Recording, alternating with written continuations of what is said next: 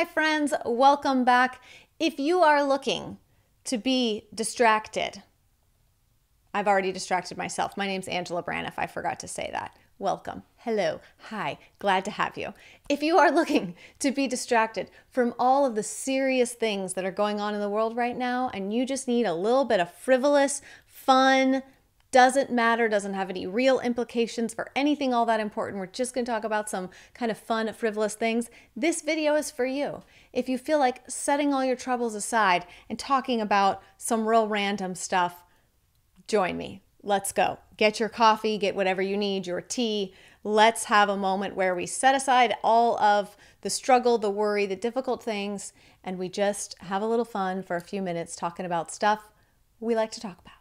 So this video is basically going to be sort of like my March edit. Unfortunately, I haven't really gone anywhere and done much of anything since March 11th. We went out for CR's birthday on March 11th, and that was the last time that I like got myself all dressed to go out and do something. And so I was like, you know what? I'm a, we're gonna go big or go home today. Okay, we did full hair, red lipstick. I gave myself a, a, spray tan, whatever, like with a glove, not a spray, but you know what I'm saying. Like, gave myself a little sunless tan. Wearing this cute top that I got from thredUP. I think it was like seven bucks or something. Some big old hoop earrings. I even put on jeans. I even put on real pants, you guys. That is how you know I am making an effort in life. I painted my nails. Things are happening, people. Big things are happening. Like I'm sitting here on the couch in my office. it doesn't matter. I feel better. And so this video is going to be sort of like my March edit. I'm going to share with you guys if you've seen my previous edit videos. I share with you uh, some beauty stuff, sometimes some fashion stuff, um, books or podcasts or movies or anything like that. So that's what we're going to talk about today. We're just going to have a little fun, little March, little March edit. It is now April, but I got some stuff to show you. I got some stuff to share with you because despite the fact that I haven't gone many places, I do have some things that I've really been liking and just some I don't really love the word self care, so don't want to use the word self care, but some pampering things. If you, like me, feel as though you just need to go all out for the hell of it for no other reason than it just makes you feel better and makes you feel good that day, this is where we are at. Before we get into it, let me just add that if you're new here, I do all kinds of content here. Uh, I do a lot of, I have eight children, we have a big family, so, and we homeschool, so I share a little bit about homeschooling, I share about meal planning, uh, we do some grocery stuff, a little bit of like day in the life or routines, do budgeting stuff, all kinds of stuff here. It's a bit of a mishmash. So consider subscribing. If you hear anything you like and you'd like to stick around, I'd love to have you. Consider subscribing, please. Okay, some of this stuff is going to be like your quarantine best friend, um, especially if you are not going all the places and doing all the things. I highly doubt you're washing your hair super frequently. I would argue that this is a great time to train your hair to not be washed as often. It's a great time to work on that um, because that is something you like have to train your hair to do. Anyways, I usually go about four or five days without washing my hair. I would love to stretch it longer. That seems to be the longest I can get it to go these days. However, I have found a new dry shampoo. It is completely gone. I actually just ordered a new one. I have never used a dry shampoo that works this well. That feels like a dramatic statement, but hear me out. This is the Klorane. This is the Klorane. Let me make sure I'm enunciating. Um, shampoo Dry shampoo with oat milk, ultra gentle, all hair types, cleans without water. It does. They're not lying. Okay, you know how some dry shampoos say that they like clean your hair or make your hair feel clean? but really they just give it like a grit and a texture, which is great. I do love, I don't have it with me today, but I do love a good texture spray. But when I want a dry shampoo, I want it to make it feel like my hair has been washed or cleaned. This stuff actually does that. Now it is pricey. But I feel like you can be pricey when you do what you say you're to do. When you actually make my hair feel clean and not just like I sprayed some stuff in it and I'm to tease it and like hope for the best. When it actually makes your hair feel clean, like you have very recently shampooed it, it's a good thing. So this Klorane dry shampoo with oat milk, like I said, pricey, but if you are looking for a dry shampoo that will actually do what it says, this stuff is so good. I've tried a million different dry shampoos. But this one by far, best thing I've ever used. We're to stay on the topic of some hair items really quickly because I have struggled for a long time with um, number one, thinning hair. Ever since I had the twins, I lost a ton of hair in that postpartum period. And I've just, it's never really come back. I, I did extensions for a while, tried that. I'm not, I'm not an extension person. It really bothered me that I couldn't like itch and scratch and just brush through my hair. All I wanted to do was just brush through my hair. I'm not an extension person. However, um, I had a lot of thinness and stuff around this area. Um, especially here in the sides and stuff, and it was really bothering me. So that combined with also having a dry scalp. So the things I've been working on with my hair are thinning hair and a very dry scalp, specifically around my hairline. And when you have color treated hair, you have to be very careful what you use in terms of like clarifying and so you can't just go use head and shoulders. It'll strip all the color out of your hair. So my my skin is very dry. I put a lot of oil on my skin but obviously i don't want to put a ton of oil in my hair. My hairstylist told me about well first of all we'll start with the the thickening stuff. So i started using a uh, shampoo and conditioner. It is not nioxin. Nioxin is the one that they sell at ulta. This one I did a little digging and found out through another YouTube channel um, that this stuff was really, really good and you could get it on Amazon. So I'll link that if you're interested. It smells very strongly of peppermint, but I do think that it works. I use it intermittently, I don't use it all the time, um, but I definitely have noticed a difference since I started using it in the thickness of my hair. So that's one of the products that I use to help thicken. And then the other thing that I use is this okay, this is very pricey. Just it's by Oribe, which should have just like dollar signs as their logo. It should just be dollar signs. Like we are going to charge you a lot. But it's the Serene Scalp Thickening Treatment Spray. So I just put this, and this lasts me forever, forever, forever, um, because I use so little of it. But I just take it basically and like lift my hair right here and spray it in just here, like on the sides. And it makes such a difference when I blow dry and style my hair and making it look thicker in these front pieces. So combining that shampoo and conditioner occasional use with this helps a lot with the thickness in my hair. And then this stuff, I was kind of like, I was a little bit concerned about using something like this. This is a dry scalp treatment, relieves dryness, itchiness, and irritation. Um, but it has it basically like almost like you put it on like hair dye. Like it has this little, little tip. Oh, okay. All right. Well, it's coming out. Ah, that's what she said. Okay. You just take it. I can't do it. I can't show you because my hair is now dry, but you just run it in a line a couple places and I really just use it in the front areas and then sometimes in the back if I feel like my scalp is getting like really dry and itchy back here. But you put it on after you get out of the shower with damp hair and just I let it air dry for a little bit before I blow dry. Don't go crazy, just use a little bit. But I was worried that it would leave my hair feeling oily, that when I went to dry my hair, I would feel like I had like oily and then it would weigh it down and that would make it look even thinner, but it doesn't. So if you are struggling with dry scalp, or thinning hair. I really like both of these and that um, shampoo and conditioner, which is from Amazon. So I will link all of that stuff below. The other thing that helps, this is apparently going to be a lot of hair stuff because y'all ask me about hair stuff a lot. So I figured I would share about this. Um, this is the Aquage Uplifting Foam. Have I shared about this before? Probably. I've been using it for quite a while. I absolutely love this stuff. It works so well. I just put it like I make a little line with my fingernail, pull up my hair, spray it, spray it, use it again when your hair is damp. So I put all this stuff in my hair when my hair is damp after I get out of the shower, then I style my hair and it's good to go for four or five days and then I use the products again. So um, yeah, anyways, I really love this stuff. It helps, it's sort of like a root boost, but it's one of the most effective root boosters that I've ever used. So I warned you guys we were going to be talking about sort of superficial stuff that doesn't really matter, but it was going to distract us and it was going to be fun. Okay, so let's keep on the hair topic for a second. If you are like me and your gray hair is coming through, I watched one of our older videos on our vlog channel from like 2016 and my hair had grown out quite a bit.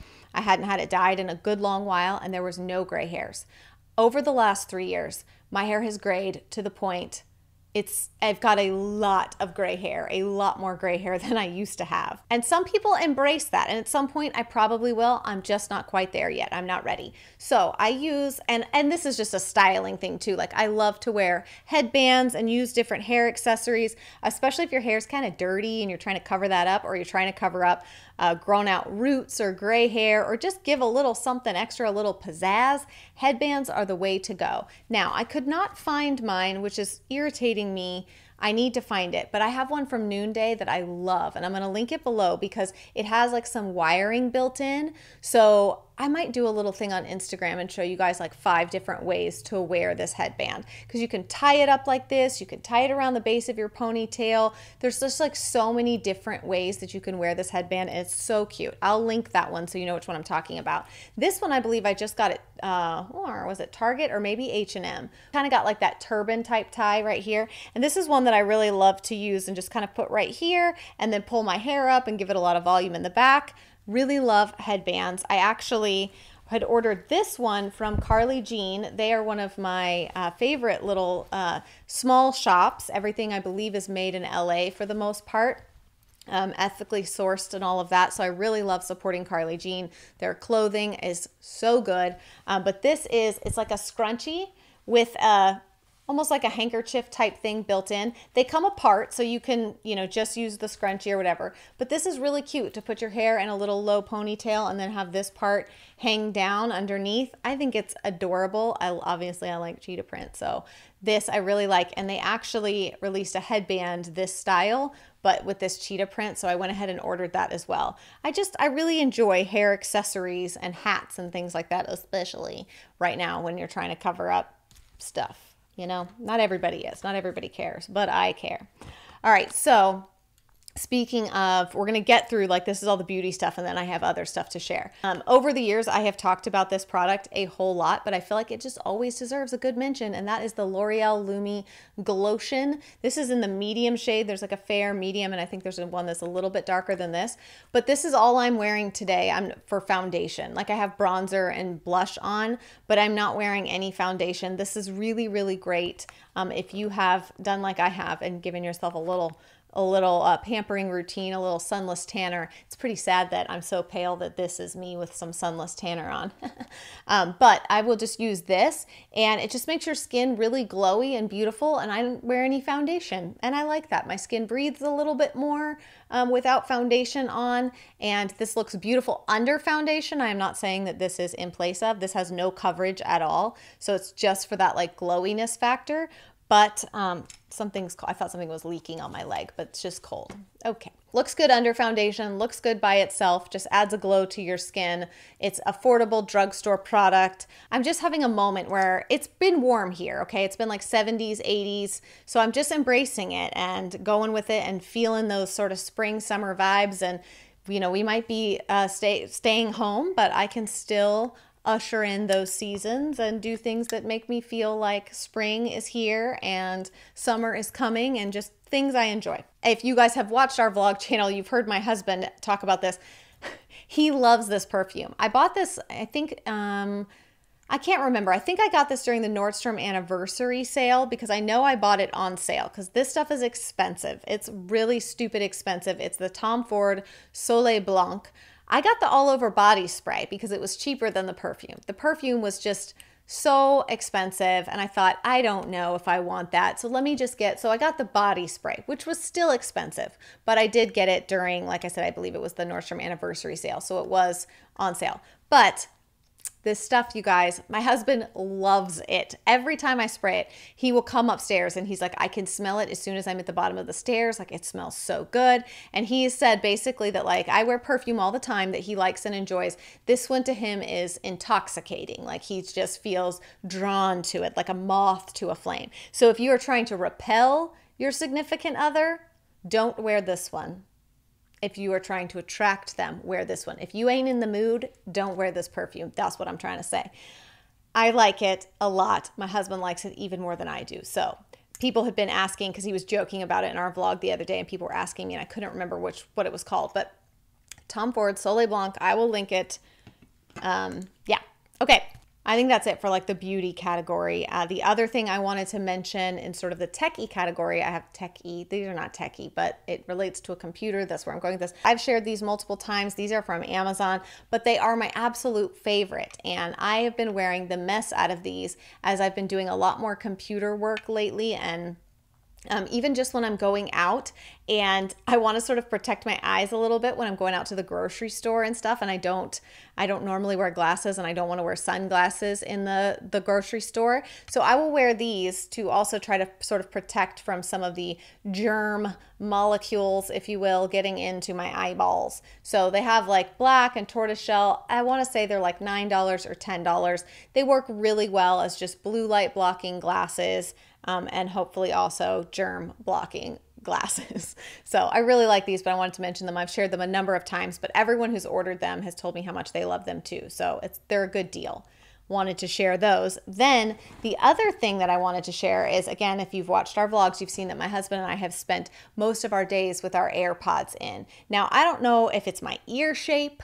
I don't know what it is, but the traditional AirPod shape and just the traditional Apple headphone shape it literally cuts the inside of my ear. It hurts, and like this part on the outside here is what I think does it. But I will have like little scabbed over cuts, and it will occasionally, those scabs will come off, and then it'll like bleed a little bit. Not like losing blood, but just like it's not good, okay? Nobody wants to be in pain. And I will literally like try to put them in and just like wince, and I can't. I have to take them out because this shape, I don't know if I got tiny little ears or what the problem is, but they do not fit well. So I went online and my husband was like, Well, I heard the Apple AirPod Pros are supposedly more comfortable. They fit in your ear better. And I was like, Okay, well, maybe I'll go get those.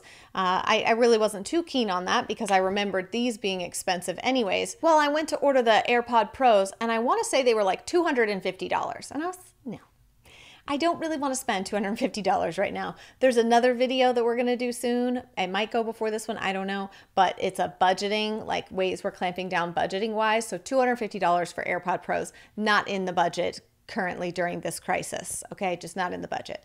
So I thought, well, let me see. And sure enough, I went on Amazon and they have these little silicone covers basically. All right, and you just slide your little AirPod in it and it gives it that extra little hook like would be on the more comfortable type of AirPods or or you know wireless headphones and then it's got the little the little part that kind of goes into your ear and your AirPod slides in it. Okay? So it's much much more comfortable, soft on your ears, does not cut my ears.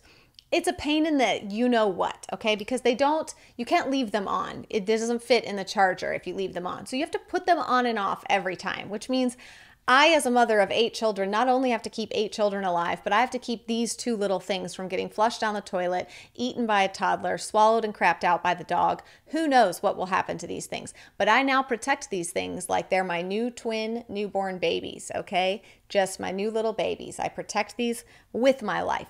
They were very, very cheap. And so when I saw how cheap they are, I said to myself, just get those. If you hate them, then you, you know, you only wasted a few dollars and you can eventually get the AirPod Pros. If you like them, that's going to save you $250. And it's it, it's a it's a good temporary solution until budget opens back up and I decide I'm willing to spend $250 on AirPod Pros or like Bose headphone, wireless headphones or something else.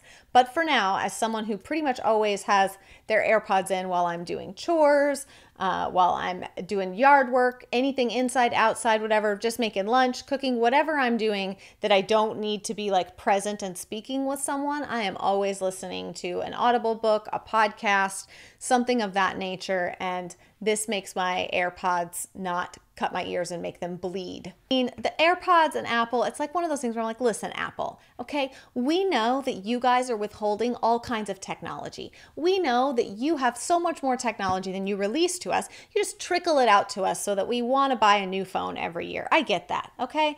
But could we can we acknowledge that this is a poor design? I'm not the only person. If they make this product, it's because a lot of people don't like this and it hurts their ears. So maybe we could just make this softer, more comfortable, less sharp sharpness here to cut the ears.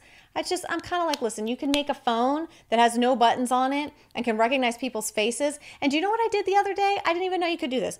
I copied and pasted from my computer to my phone or vice versa. I copied something on my phone. And then when I right clicked the mouse on my computer, it pasted it. If you can do that, you can make an AirPod not slice someone's ears up like Freddy Krueger. Okay, that's all I'm gonna say about that, Apple. Speaking of AirPods and the things that we listen to in them, well, actually, hold on. I did forget one thing that I wanted to show you guys. Now, I did talk about this before, but it deserves to be spoken about again because before, before I shared it with you as something that I had recently purchased and figured I was going to like. Well, I've been carrying it for the last month and now I am in love. This may be one of the, my favorite bags I have ever owned, okay? I have bought a couple of high-end bags a, you know, some designer bags. I have a lot of different purses. I have a slight purse obsession. This may be one of the most practical, one of my favorite bags ever. It is a backpack. It is the right size for a backpack. You, it's not so big that you feel like a kid going to school.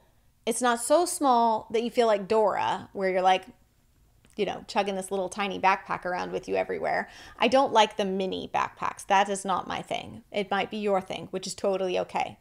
It's just not my thing. I want a medium sized backpack. I don't want it so big that I can fit like a body in it. I just want to be able to fit a few things I need. The reason that I love this one so much is because you have the option of wearing it like a backpack, which is great when you've got your toddlers, your little ones with you, and you need to be totally hands free.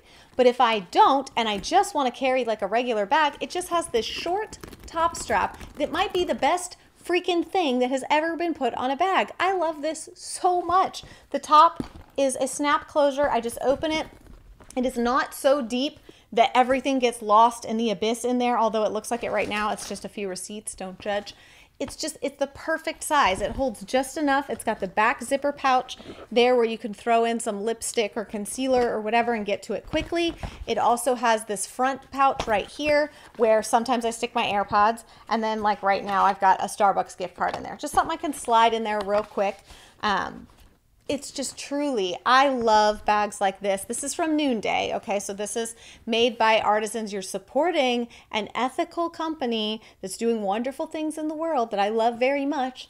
Uh, but you also get this cute, cute bag. And I, the, my favorite thing about their like leather bags like this is as you wear them, they soften up so much. I like it when they get a little bit beat up and you've got scratches and stuff on there and they get a little bit of character. You know, it doesn't look so perfect just add some character to it. And then this is a, a handkerchief from Noonday that I just tied on there. But, um, but Noonday bags are just truly some of the most beautiful, incredible, well, um, well designed. They hold up well. I just, I love Noonday bags. I always have. All right. So speaking of things I've been listening to in the old AirPods. I shared a little bit about this in my Q&A, so I'm just going to make it very brief and I will leave them linked down below. I have been listening to, uh, I've listened to two and a half books by Annie Jacobsen. Uh, she's an investigative reporter for the LA Times, and she has really spent the last I don't even know, 10 or 15 years, investigating sort of into our government's secret programs, the sort of clandestine departments that have been created. And as these organizations declassify documents, as she's able to get information because of the Freedom of Information Act, she's really sort of sharing and pulling the veil back, if you will, on how some of these operations work how uh, our perception of them and what we think that they do and the good things that they've done are not always totally accurate. Uh, it's very interesting. I feel like she's pretty unbiased, not totally. No one is ever, I don't think, totally unbiased, but she feels pretty unbiased in that she makes a good argument as a reporter just to share with you here's the information, make what you want of it. So, like her book about Operation Paperclip, which is the uh, program that brought Nazi doctors to the U.S. to work for us after the after World War II was over. We sort of had this secret project called Operation Paperclip the public was sort of lied to and told these were not Nazis, these were the good Germans. And so the truth it was obviously that was not the truth. These were people that were high ranking um, doctors and stuff within the Reich. And so the whole book is just very, very fascinating at understanding how and our government did that, why they did that, you know, preemptive what was going on with the Cold War and wanting to uh, sort of be prepared for anything and beat Russia in terms of weapons and intelligence and things like that. So that's sort of why we did that. So she sort of leaves it up to you to decide in the books after she explains. So the first book is about Area 51, the second book, Operation Paperclip, and then what I'm listening to now is called The Pentagon's Brain, and it's about DARPA. Uh, they, fun fact, are who created the internet. Um, so it, she leaves it really up to you to decide how you feel about the decisions that have been made. But her point is simply that, like, we as citizens should know what's going on. We should understand what we're involved in um, and then make our decisions from there about what we support, what we believe is ethical and right. And so I, her books are very meaty. They are very thick, big books with lots of information. And sometimes it's a little mind numbing because it is so much like names and names of operations and interviews with different people and stuff like that. And you kind of get it all like swirling around in your head and it's hard to make sense of.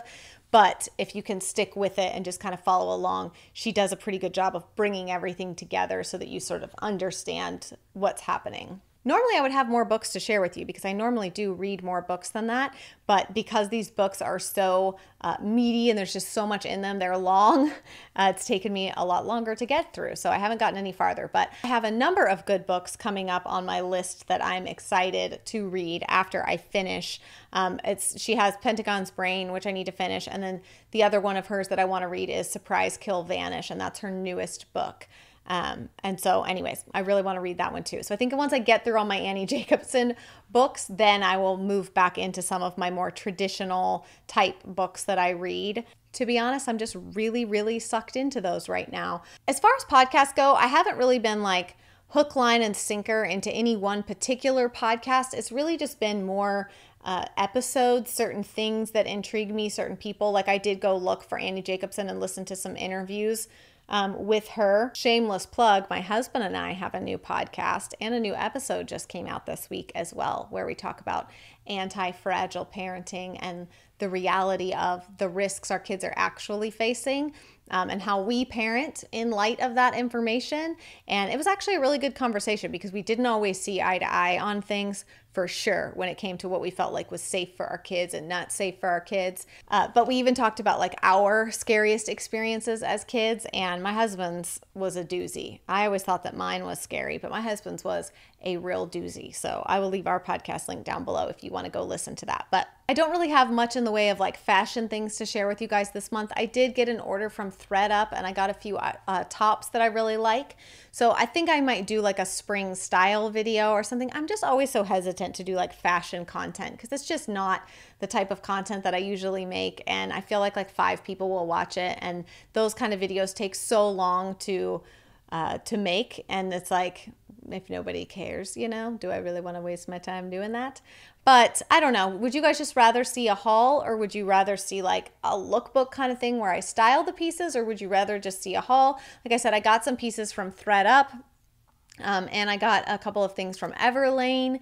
And so I still know that I, I want to sit down and share with you guys some of my favorite ethical clothing brands. And I got a few things from Carly Jean as well. So um, maybe I can do that as a combined video, like share with you some of my favorite brands and then here's some of the items I've gotten recently from those brands. That way it's sort of like a combination. I just, I don't feel like fashion content is necessarily my thing. So, that is it though. I can't think of anything else that I have to share. That's it for today's video. I hope that you guys enjoyed. I hope that this was a, little break from all of the big, heavy, hard things that are going on. Sometimes it's okay to like just take a break from that and let's talk about some silly, shallow, doesn't really matter um, headbands and AirPods and glasses and lotion and hair spray or whatever it is. So yeah, hopefully you guys enjoyed this video. We all got a little break and I would strongly encourage you if you're feeling it to go and like give yourself like pluck your own eyebrows wax off your mustache. I've done that already too.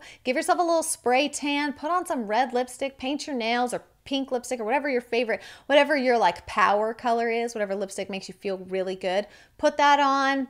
Do your makeup, even if you have nowhere to go, no one else will see you but you and your cat, or just you and your spouse, or you and your kids, or whatever the situation is. Make yourself feel good. If you do it, tag me, okay? Go on Instagram and tag me if you do that. I want to see because sometimes we just need to feel good for the sake of feeling good, and that's what I'm doing today. So that's it for today's video. I hope that you guys enjoyed.